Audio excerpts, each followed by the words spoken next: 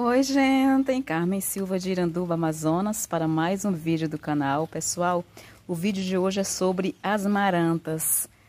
Vou mostrar elas e dar a minha dica de cultivo aqui, tá bom? Mas antes, antes do vídeo, eu mostrando aqui para vocês a minha luz, minhas luzes que eu coloquei aqui no pergolado. Não dá para ver muito bem porque ainda tá de dia, são 5 e 10 Ainda 5 e 10, quase anoitecendo. Inclusive o tempo tá fechado aqui, pessoal. Olha aqui em cima, tá bem legal. Com luzes, não sei se dá pra ver. Acho que não dá pra ver muito bem, né? Porque, olha lá. Não dá pra ver muito bem, mas ficou muito legal depois que colocou as luzes, pessoal. Aqui embaixo tem outra. Eu coloquei três, três luzes, ó. Dá um reflexo assim nas plantas, bem legal. Mas não dá pra ver muito bem porque ainda é de dia. Chovendo bastante aqui, pessoal, muita chuva, desde duas horas da tarde que chove. Inclusive, eu não ia fazer vídeo para vocês hoje por causa da chuva. Mas eu resolvi gravar esse videozinho para vocês. Mas antes, eu quero mandar um beijo para Eliette Costa. Beijo, Eliette Costa. Ela mora em Pernambuco. Ela disse, Carmen, manda beijinho para mim, sou sua fã. Muito, muito obrigada. Eliette, beijo para você e para todas as pessoas que comentam os meus vídeos com muito amor. Só tenho a agradecer a todos, todos vocês. E vamos para o vídeo. Gente, eu começo com essa aqui. Pessoal, eu não sei o nome de todas, sei de algumas, tá bom? Mas o importante mesmo, eu acredito, é vocês verem as minhas marantas, todas molhadinhas da chuva. E eu vou dar minha humilde experiência de cultivo que eu tenho aqui com elas, porque, pessoal, eu já tive muita dificuldade de cultivar as marantas. Ó, essa tá saindo uma flor ali, tem duas flores aqui. Acho que não tá focando muito bem, foca. E eu já tive muita dificuldade de cultivar as marantas, mas graças a Deus, depois que eu peguei assim o fio da meada, como diz o ditado, eu super estou amando cultivar. Inclusive, eu vou mostrar Algumas que eu comprei recente. Essa aqui é das minhas primeiras, pessoal. Eu amo essa maranta. Eu tenho um xodozinho por ela, porque é uma das primeiras marantas que eu tive aqui, ó. Deixa eu puxar aqui pra você. Ela tá bem grande, bem grande, bem grande, bem grande. Eu coloquei ela aqui no chão. Ela não é cultivada aqui não, tá, gente? Eu só trouxe, nenhuma delas. Eu só trouxe pra fazer o tuzinho pra vocês. Mas nenhuma é cultivada aqui. Aqui embaixo eu tenho essa aqui. Essa bonitinha também aqui, eu não sei o nome dela, só sei que ela é uma... Ai, meu Deus, tá desfocando. Uma maranta muito engraçadinha, com esses detalhezinhos aqui. Eu acho ela também muito engraçadinha. Ó, tem umas que tem um verso colorido. Essa aqui, por exemplo, ela, por exemplo, ela tem os versos coloridos, gente, ó. Bem coloridos, né? Bem roxo. Tem umas que não tem, são simplesmente só verde. Por exemplo, essa aqui não tem, ó, o verso colorido. Essa aqui, desculpa o barulho, pessoal. Essa aqui é a amaranta riscada. Ela tá bem grande também, deixa eu puxar aqui pra você ver, ó, como ela tá bem grande. Também ela foi uma da, das minhas primeiras marantas. Eu estou também amando cultivar bonita, porque ela fica muito, muito ornamental também. Ela ainda não floriu essa aqui. Mas estou aguardando a floração dela. Essa aqui é a maranta riscada. Pessoal, eu tenho 21 marantas, tá bom? Eu, para quem não tinha nenhuma, porque eu tinha dificuldade de cultivar, já tenho 21. Eu tenho essa aqui também, gente, que também é bem bonita, com detalhe o meio da folha todo um verde escuro. É um verde, é um cinza, né? Parece um cinza. Também uma amaranta também muito bonita. Tem um verso colorido ela, olha só. Ela tá assim. Essa aqui tem pouco tempo que tá comigo. Acho que tem uns dois meses. Tá se adaptando também. Tenho essa aqui também. Deixa eu puxar aqui para você ver melhor. Essa aqui tem também um verso colorido, ou um verso bem roxo. Também tem as folhinhas bem decorativas. Ela tá assim. Muito lindinha também. Choveu muito aqui já, gente, como eu falei no começo do vídeo. Muita chuva, desde duas horas da tarde que está chovendo. Eu tenho essa aqui, por exemplo, essa daqui, gente, eu tinha muita dificuldade com essa amaranta. Ela enrolava as folhas e não ia. E não ia. Aí eu ganhei essa outra. Aí eu tive uma e morreu. Aí eu ganhei essa outra aqui de uma amiga. Inclusive eu fiz até o vídeo, por último, que está aí na aí no aplicativo, na plataforma. Eu, foi ela que me deu essa amaranta, a Leila. Essa daqui é a amaranta variegata. Também tinha muita dificuldade, ela enrolava as folhas e era aquela coisa, gente. Também é uma amaranta muito bonita também, né? Olha só. Essa outra aqui é a, é a amaranta zebrina. Que também essa aqui eu tive, e uma já morreu, a primeira que eu tive. Eu não soube cultivar bonita, ela ficou morrendo. Aí eu ganhei, ganhei não, comprei essa daqui de uma amiga. Essa aqui é a amaranta zebrina, que também é bem decorativa, essa amaranta. E agora, depois que eu arranjei um cantinho para elas, ela está se desenvolvendo assim muito, muito. Essa aqui é a amaranta zebrina, que tá desse jeito aqui para você. Tenho essa outra aqui do lado, que também ela foi das minhas primeiras marantas. Eu cultivava ela dentro de casa, mas ela não se adaptou muito bem não dentro de casa, apesar de ser uma planta que pode ser cultivada dentro de casa. Mas ela não estava se adaptando, eu peguei, tirei e coloquei ela para cá, para fora. Também tem um verso coloridinho. Desculpa o barulho que tem o pessoal trabalhando ali, que trabalha com ferro ali. E eles estão pegados ali. Essa daqui foi também, tá bem desenvolvida também essa maranta, foi uma das minhas primeiras. Tem essa outra aqui também, que essa daqui também não tem muito tempo comigo. Acho que tem mais ou menos uns, também uns três meses. Inclusive depois que eu fiz o replante dela, ó, nascendo bastante folhas, ó. Ali, ali. Quando as folhinhas estão nascendo, elas são meio amareladas, ó. Depois que eu fiz o replante. E tá nascendo muita folhinha nova ali, gente. Não sei se dá pra ver. Que assim, ó. Ó. Que essa daqui, se eu não me engano, é a pena de pavão. Será que é isso? Acho que é, é, acho que é a amaranta pena de pavão. Se não me engano, tá, gente? Que eu não sei o nome de todas. Eu só sei mesmo que elas são as marantas. Assim, eu estou apaixonada pelas marantas, gente, porque elas são muito decorativas, né? E quando elas se adaptam num lugar, aí pronto, elas vão embora. E vão que vão embora. Em cima dessa prateleira eu trouxe algumas para mostrar, para ficar melhor para mostrar, porque elas ficam ali atrás, gente, naquele cantinho ali, ó. Naquela prateleira ali, dá para ver, né? A maioria fica ali, mas não tinha como mostrar que fica bem apertadinho.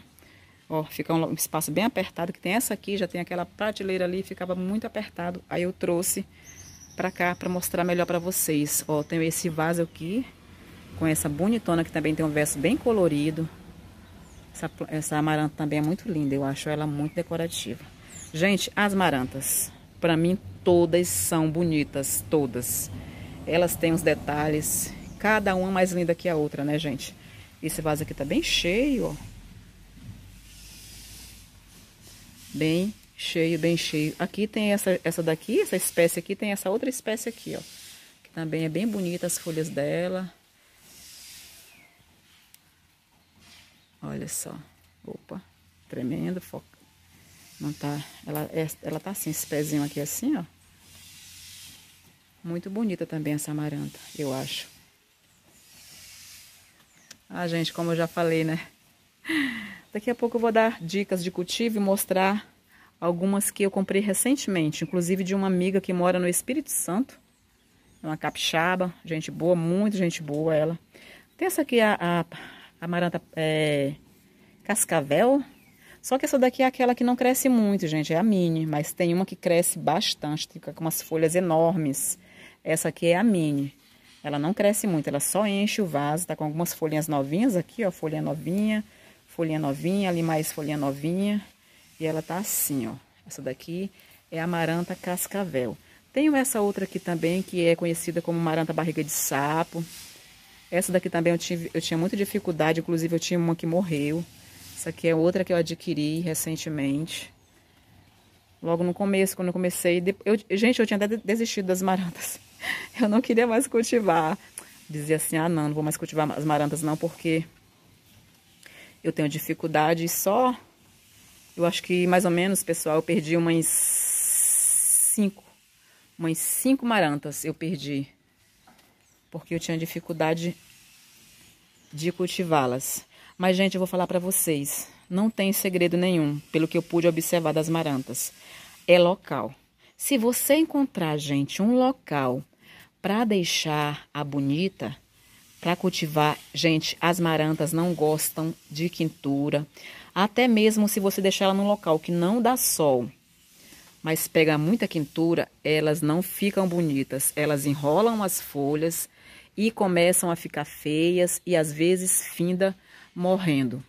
Mas se você achar um lugarzinho que é fresquinho aí na sua casa, ou você tem uma árvore que você pode deixar a bonita debaixo da árvore, gente, elas vão amar. Pelo menos eu não tenho uma árvore aqui no meu quintal, pessoal. Infelizmente, gostaria muito de ter. Mas elas gostam, elas amam ficar embaixo das árvores. Essa aqui também é bem colorido o verso dela, ó. Ela é peludinha. Ela tem uns pecíolos, pessoal, bem peludinhos, não sei se dá para ver na imagem, mas é a amaranta também muito engraçadinha, ela tem as folhinhas enroladinhas assim, ó, parece assim um, uma costura de zigue-zague, né, que foi feita nela. Essa aqui é a peludinha que eu acho ela muito fofinha. Essa daqui também, eu mostrei agora há pouco uma parecida com ela, mas a, a outra tem um verso colorido e essa aqui não tem o verso colorido, ó. Um verso verde mesmo. Outra coisa que as marantas amam se você puder deixar ela num cantinho onde você pode jogar água, tipo uma varanda, uma, um corredor da sua casa, uma calçada do lado de fora que não dá nenhum sol, é fresquinho, e você pode molhar o corredor, para você não ficar molhando ela toda hora, né? Porque as marantas gostam muito de umidade. Elas vão amar, gente. Se você puder deixar aí num cantinho onde você pode molhar a onde elas estão sendo cultivadas, elas vão amar. Aqui as minhas eu não costumo jogar água nas folhas com borrifador, eu jogo mesmo com as mangueiras. Somente quando está muito quente, por exemplo, eu faço isso uma vez por dia.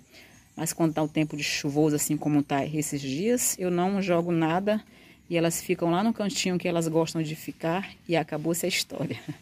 Essa aqui, por exemplo, eu comprei da amiga Leila, lá onde eu fiz o vídeo, comprei ela, essa plantinha dela. Essa aqui é a é a Maranta Rubi. Como eu tô fazendo coleção de maranta, e onde eu vejo uma que eu não tenho ainda, eu já quero comprar. Essa aqui é a Maranta Rubi também, que é bem bonita. Ela tem esse verso bem rubro, né, gente? Eu deixei ela no cantinho ali, bem na, no cantinho bem fresquinho, e ela super tá amando já tá nascendo aqui folhinha novinha. Outra que eu comprei da, comprei da amiga Leila foi essa aqui, ó. Essa aqui que é a maranta medalhão. Ela é uma maranta também bem bonita, ela, ela fica com as folhas enormes, essa maranta. Maranta é calateia, né? Calateia maranta, enfim. Conheço maranta e calateia e calateia maranta. Ela tá nascendo uma arte floral aqui, ó, gente. Uma arte floral muito engraçadinha. Essa aqui eu conheço ela por maranta é, medalhão. Muito bonita também os detalhes dela, né, gente? Olha só. Elas são assim de encher os olhos, essas marantas. Todas elas, todas. Só que tem umas, pessoal, o que eu pude observar que são mais fáceis para cultivar, outras são mais difíceis. Por exemplo, aquela variegata que tem bastante a folhinha fininha, ela é bem chatinha. Ó, gente, vou mostrar essa outra aqui para vocês, ó. Essa aqui ela tá se adaptando ainda, essa aqui eu comprei de uma amiga que mora, como eu falei agora há pouco, no Espírito Santo, a Alessandra. Gente, o Facebook dela e o Instagram é Casa das Plantas. Se você conseguir, ela tem muitas plantas legais, ela entrega para todo, todo o Brasil. Inclusive aqui para o norte, aqui para Iranduba. Chegou com quatro dias, pessoal, minhas plantas. Não chegaram assim tão bonitas não, porque quatro dias, né, gente? Quase no quinto dia eu peguei. Mas aí, elas vieram bem. Não tava assim Claro, claro, né? Tava um pouquinho desidratado, porque é normal você, né? Uma planta ficar quase cinco dias dentro de uma caixa. Não tem como ela não desidratar, né? Tá mais ou menos dois meses que eu comprei essas plantinhas dela. Essa aqui eu comprei dela, essa amaranta aqui, bonitona. Ela é super confiável, tá, gente? Ela entrega para todo o Brasil. Essa aqui eu comprei dela, que também já nasceu folhinha nova aqui. Ela veio com duas folhinhas, ó. Já nasceu folhinha nova aqui. Ela também gostou bastante do local onde eu deixei ela. Essa aqui também eu comprei dela. Essa aqui também é uma maranta muito bonita. Tá se recuperando ainda da viagem. Mas já tá nascendo ali brotinho novo. Olha só, gente. Fiquei super feliz. E eu vi agora quando fui fazer o tour pra vocês. Nem tinha visto ainda. Ela é muito bonita essa amaranta, ó. Muito, muito ornamental ela. Essa aqui também eu comprei da Alessandra, lá do Espírito Santo. Capixaba, minha amiga Capixaba, que é gente boa, muito educada. É só você procurar ela aí no Instagram. Eu vou até deixar o número do telefone dela, caso você queira pedir planta dela. Ela entrega para todo o Brasil. Essa aqui também eu comprei dela, ó. Essa aqui já tá nascendo folhinha nova, ali também não tinha visto, olha. Já está assim bem recuperada essa plantinha, ela chegou bem baqueadinha um pouco desidratada porque foram quase cinco dias. Ela mandou na segunda-feira e eu recebi na quinta-feira, gente. Então, assim, é claro que as plantas sofrem, né? Mas, assim, eu recomendo, se você quiser comprar dela, vocês não vão se arrepender porque ela é muito confiável, tá, gente? Gente, outra coisa, outra coisa. Uma experiência muito legal que eu tive com as marantas foi colocar, gente, nessa aqui não tem, mas essa aqui tem, deixa eu mostrar pra você. Foi colocar esfagno Acho que você deve saber o que é esfagno, né? É porque acabou meu esfagno aqui, ó. Isso aqui é esfagno, pessoal. É um, um, um musgo. Acho que é musgo, né, que fala. Isso aqui é um esfagno. É um... Tipo assim, um... Um pelinho, sei lá. Porque não tenho pra mostrar pra você direitinho, pra mostrar pra você direitinho. Mas, gente, como ela gosta de umidade, aí você pega você coloca assim no cantinho dela, ó. Assim, em cima da superfície mesmo. Aí você deixa. Ele fica todo tempo úmido, não fica encharcado, gente, e as marantas adoram. É uma dica muito legal, se você tiver na sua cidade, o esfagno, compra e coloca. Também a adubação que elas também amam, gente, é esterco de gado bem curtido. Se ela tiver feia sua amaranta aí na sua casa, uma amaranta feinha, sem vida, sem força, compre esterco de gado, pessoal. E coloca, não precisa nem aterrar. Basta você colocar em cima, assim, ó, na superfície do vaso e deixar remolhar. Gente, elas ficam com uma força muito legal. Muito, muito legal. Mas a dica principal, gente, que eu dou para vocês é a seguinte. Encontre um local onde sua amaranta vai gostar. Se você encontrar esse local onde tem sombra, é fresquinho, é úmido, você vai ver que a sua amaranta vai ficar uma belezura. Essa aqui também, ela tem esfagno lá embaixo, ó. Não sei se dá pra ver. Tem esfagno, tá, gente? Essa é a principal dica. E se você puder molhar o local onde ela fica, pelo menos uma vez por dia, quando tá muito quente, e molhar as folhas com mangueira ou borrifador, pelo menos uma vez por dia, também elas vão amar. E claro, né, gente, colocar um substrato não muito drenado, porque como ela gosta de umidade, não precisa ser muito, muito drenado. Mas esse aqui, por exemplo, ó, isso aqui é barro. Barro comum misturado com carvão, com areia, tá, gente? Terra, assim, terra, terra vegetal, terra de quintal. É, foi, a, foi o substrato que eu plantei, essas aqui que chegaram do Espírito Santo, que eu falei pra vocês agora há pouco. É o substrato que tá nelas, pessoal, ó tem nada de segredo. Carvão, elas gostam muito de carvão, as amarantas. Aí pega uma terra vegetal e acha um local para elas ficarem, pessoal. Um local assim bem legal. Que vou, depois você me fala aí nos comentários. Carmen, eu tive dificuldade com maranta tal e agora com a sua dica eu consegui cultivar e elas estão bonitas, minhas marantas. Compartilhe comigo uma experiência que você se você tem dificuldade de, de cultivar as marantas ou não. Tá bom? Eu adoro interagir com vocês, eu respondo com o maior prazer do mundo. Eu só tenho a agradecer a todos vocês pela gentileza. Eu amo, ainda mais quando eu já conheço vocês. Olha, a fulana comentou, a cicana comentou, ah, a fulana lembrou. Ai, que... Gente, eu fico muito, muito feliz. sabe? Muito, muito feliz com a interação de vocês.